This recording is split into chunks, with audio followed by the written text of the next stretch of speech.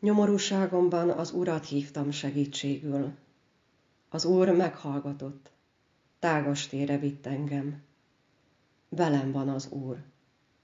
Amen. Istennek ígéjét Pálapostolnak, a Kolossébeliekhez írott levelének negyedik részének második verséből olvasom eképpen. Az imádkozásban és a hálaadásban legyetek kitartóak és éberek. Kedves Gömör Nógrád rádió hallgató, kedves testvérem! Hogyan imádkozzunk? Hogyan imádkozzunk, ha nem jönnek a szavak? Jézus mondja, ti barátaim vagytok, ha azt teszitek, amit én parancsolok nektek. Az a valaki mondja, aki így tanítja az övéit imádkozni. Mi, atyánk, aki a mennyekben vagy, szenteltessék meg a te neved. Csak hogy nem mindig könnyű imádkozni. Nem mindig jönnek a szavak. Mit mondjak? Hogyan imádkozzak? Különösképpen, amikor belül olyan kietlennek és elhagyatottnak érzem magam. Még a mi atyánk elmondása is olyan üresnek tűnik ilyenkor. Az ige ennek ellenére arra bátorít, hogy legyünk kitartóak. A kitartás definíciója azon képességünk, melynek segítségével képesek vagyunk hosszabb időn keresztül tevékenykedni egy bizonyos cél érdekében.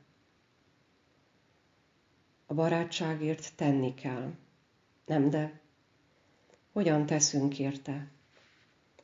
Felhívjuk a másikat, üzenetet küldünk neki, találkozunk vele. Egy szóval tartjuk a kapcsolatot. Amikor megszűnik a vágy, hogy találkozzam a másikkal, és nincs mondani valóm, akkor lassan-lassan ellaposodik egy kapcsolat, és távol kerülünk az egykor fontosnak tartott szemétől. Ha fontos a másik, akkor ragaszkodunk hozzá.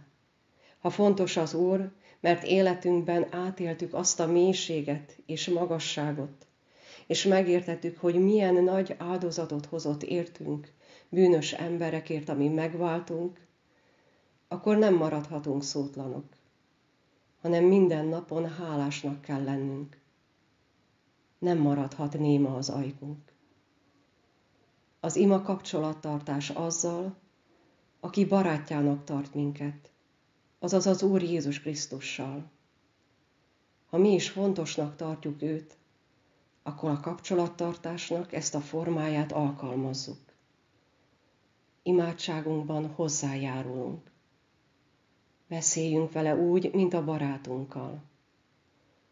Gondolj arra, mit teszel, ha összefutsz egy pajtásoddal.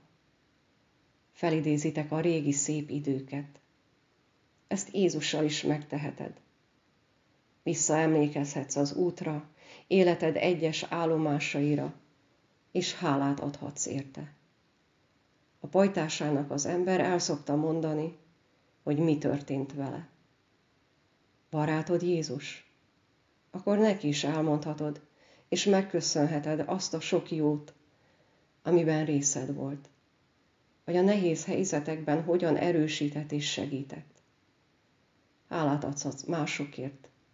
Ha pedig bűneid megbánod és eléviszed, vigasztalást nyersz, mert ő megbocsátja a bűnöket.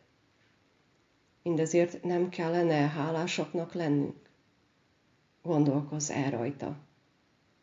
És kell, hogy mindebben éber légy. Az éberség készenléti állapot, amikor befogadó vagy az Úr felé. És miközben beszélsz, szólsz hozzá, ő is munkálkodik benned szent lelke által. Az imádkozásban és a hálaadásban legyetek kitartóak és éberek. Fogadjátok az áldást.